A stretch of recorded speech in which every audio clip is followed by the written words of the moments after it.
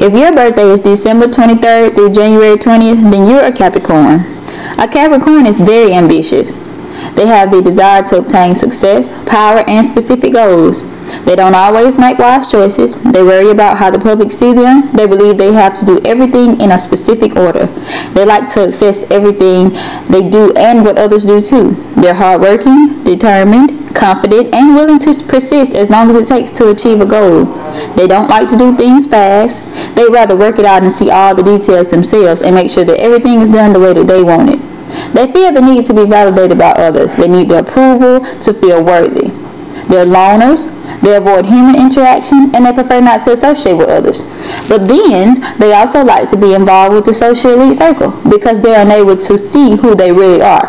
They have mental limitations. Capricorns wait for the right time and opportunity to present itself for them to accomplish what they want. They exhibit leadership qualities. They have influences on others. They're strong-minded, caring, friendly, and sympathetic. They express compassion for others.